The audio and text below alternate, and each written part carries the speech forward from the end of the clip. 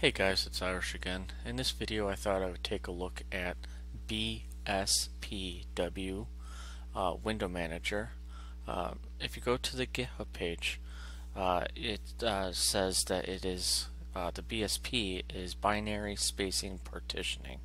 So what this does, unlike other window managers, is that uh, every time that you open up a window, it it goes down to a fully binary tree on his GitHub page, the author of this is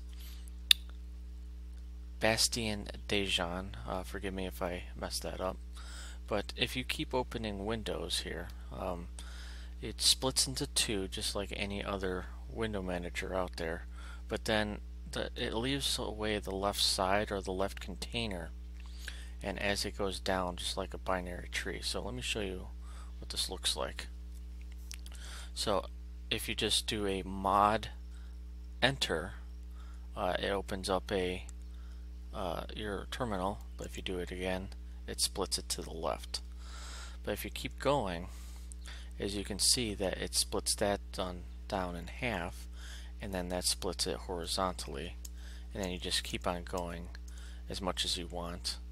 Um, but if you ever wanted to, uh, you know, split this up. I'll show that in, a little bit, but you can split both containers, but this is the natural progression if you just kept uh, pressing uh, mod enter for your uh, terminal. But the cool thing about this is, so this is technically a layout, uh, like a natural flow to it, just like in i3 or in any other tiling manager that you just keep going until you change it. This is also a manually, you can manually uh, decide which way that you want uh, to tile this. So let me exit all of these out and show you what I mean. So when you open this up, say you wanted to uh, split this in half. Now, by default, the mod key is the Windows or Super key.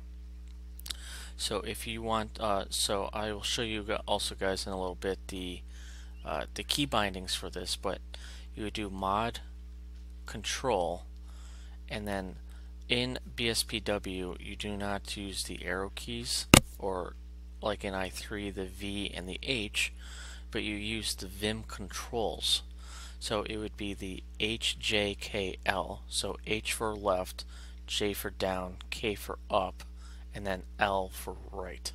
So if we wanted to move this down, we would just do a mod control J and then just enter it. And then this doesn't split this by half, but it does split it by 0.52. Uh, that is configurable. You can change it to any uh, one that you want by default. So say we wanted to increase this, we would do a mod shift and then either the J, sorry, it would be the mod Windows key. Or if the Windows key, if you left the mod key, it would be Windows and Alt key. And then you can just move this up with the Vim controls, which would be the HJKL, or you can do it with the A.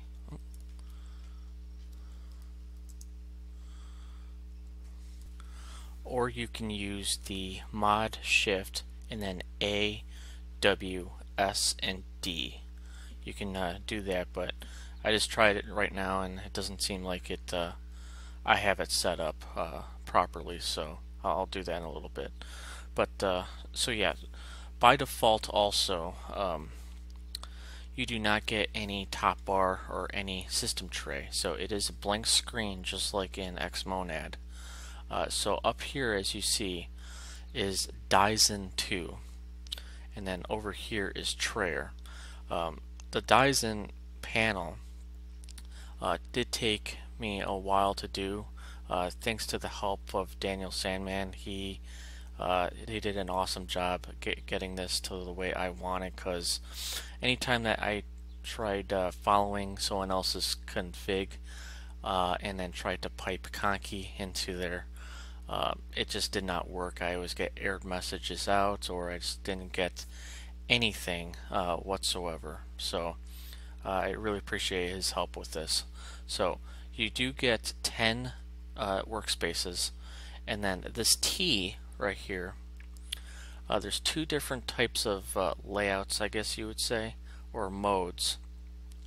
So the T so the T stands for tiling and then if we do a mod T it goes to an M which stands for monocle. So I'll show you what these look like. So I did show you the uh, the T or the tiling uh, layout but if we do a mod T uh, as you can see it overlaps each other into a uh, I guess a monocle. Uh, I don't know what exactly that is but it layers it on top of each other. So I don't know exactly when you would want to use this uh, this mode but uh, I think just keeping it a tiling is the, the best way of doing it. So I just wanted to show you guys uh, when you do install this um, uh, it you do have to install two types of packages. One of them is uh, the BSP main window manager and then there's something called SXHKD which is where the hotkeys are. So you can put uh, so the BSPWRC file uh, would be located in your uh, .configs. And then you can create your own uh, uh, subfolder for that. And then uh, we'll just open this up in uh, gedit really fast.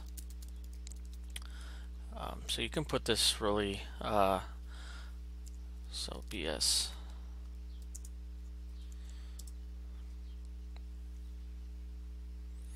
so then this is what it looks like. So also by default uh, you don't get really much of anything. I did take this from other people's config files out there.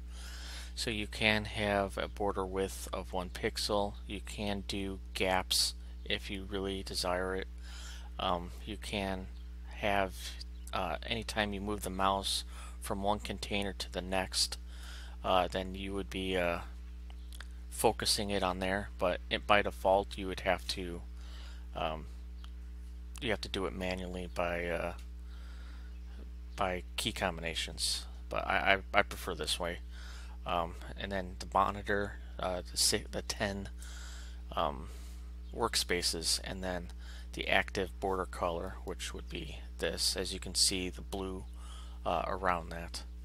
And then I tried putting my font awesome icon into it, but uh, maybe it just doesn't. Uh, uh, hopefully, someone down in the comments can say if I uh, any experienced BSP uh, users know how to add um, fonts into uh, the BSP window manager. And then the panel is uh, something separate. I, will get to in a little bit, but the panel is uh, right up here as the Dzen part of it. So that's all. Uh, so this BSP RC file um, is the the main window manager. So if when you did did install it and forgot to add this, you really couldn't do anything. So the second uh, save this. So the second uh, uh, config file, you can put this in your BSPW folder in the .configs, or you can create it uh, a second folder, which that's what I did. So if we just go back and then go to the SXHKD file and then we'll just open up that um, that, that uh, RC file. So once again, by default, the mod key is the Windows key or the super key, but as you can see, I changed it to what I like it in i3, which is my Alt key, because on my keyboard I have two alt buttons but only one Windows key so it, it, would not flow for me as well so the, the second thing that I changed in here is uh, the closing of the windows by default it's uh, super key plus W. So I changed it to Alt Shift Q. And then uh, as you see we're in um, we are in full screen mode just like in that so you just do Alt F which would be full screen. Now if we went to another um, another workspace and did an Alt S as you see it is in floating mode. Uh, you can move this. Uh, again, there's might be something wrong with my uh, my key combinations, but if you do a mod and then uh, right mouse key, you are supposed to move this. Um, but for whatever reason, I'm unable to unless. Oh, yeah, I think there's something wrong with my uh, config file, but you are able to move this, so you are in floating mode right here and then if you just do a Alt S again it brings you back to uh, the tiling or full screen mode so it, eh, you, um, so on the main guy's website he does have examples to get you started. So if we come up here and it's in the examples and then if we go to the SXHKRC file uh, as you can see here it's uh, right here. Uh, so you would just want to add a folder or add this to your either your SS SXHKRC file folder or you can put it in with the other OS. So you so by default super space is the D menu. I don't believe D menu comes with it so if you do install this I would uh, highly recommend uh, installing menu. If we come back to mine uh, I changed a, a, few things myself. Uh, I made Alt D as the D menu like I have in my i3. I also put the volume control and brightness control on it. And all you have to do is say your key combination and then what it does down below. So if you want to add uh, quick keys to like install to start up Firefox or whatever, you would put this down in the window manager dependent hotkeys. So it these don't really need to be here. Um, and then if you changed anything in this file, uh, you would want to refresh it. So if I changed uh, the alts back to super keys, uh, I would have to do a super R and then it would refresh everything uh, that way. Um, so then also let me take a look at the, his uh, uh, other one which is the BSPRC. So this is what it is what he comes with. So it is bare bones, but this is enough to what you need to get the window manager up and running. And then with the top bar, the panel, um, you can use Dzen 2. Uh, I have used Xmobar. You can use Tint 2 uh, you can also use XFCE panel uh, and then you can also use something called lemon bar which if we again go back to his uh, this is what uh, the panels look like so you'd use panel here and then this is for lemon bar so you just put all this in and then anytime you have this you would want to chmod plus X so you would want to make it executable so it is. It does look nice. I did have Lemon Bar installed uh, before making this video. However, I just for whatever reason I could not get. Um, I just could not get battery indicator up in there. Uh, again, I tried doing Conky and everything, but it aired out. So the panel colors is, um, sorry, what you see up here. So it does colorize the panels. Um, by default, uh, this is what you see, but I meticulously went through each line of this. Uh, let me show you what I did here. Go back here. So you can see here, like this, uh, these top two are for the bar color itself, and then for other works, uh, other workspaces here. Uh, I don't know exactly what the multi-monitor layout really is. So I tried changing it to a red color, but I'm assuming if you have multi monitors like a two or three, you may see the other stuff red. Um, but again, I'm just on a laptop. So you, the current workspace you're on, and then it highlights what workspace you're on by having like a little tiny bar down below. And then um, urgent is just in case. Uh, so if you click on a link uh, in IRC uh, Freenode or anything, it automatically goes and focuses on the web or your browser that you have up. And then the inactive ones, I have a dark blue. And then here's the active that has programs in it. So it will highlight which um, what uh, workspaces are in what. And then the status colors, which is over here. And then applications that are open, which is just like in uh, Awesome Window Manager. Uh, if you can see the URXVT up here.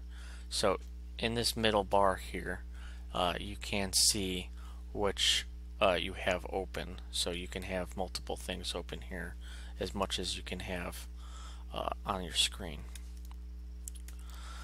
So that is the colors and I, I, if you guys want I can you know show you how to set up your panel uh, in another video if you'd want.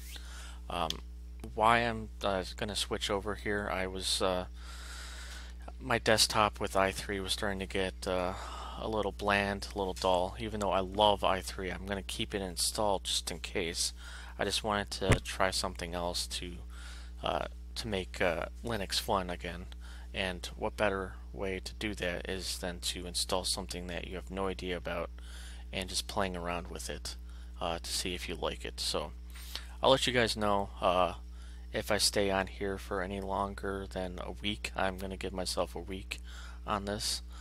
Uh, and then if you guys want to have me review any other or look at any other window managers or desktop environments, um, please put put your comments down below and I will make a video. Uh, I will make put this on actual hardware and I will review uh, use it for a week just so I can get uh, used to it and then I can tell you what my views are. Uh, if you have any other video, um, any other things you would want to see me cover, any tutorials, then please put them down below.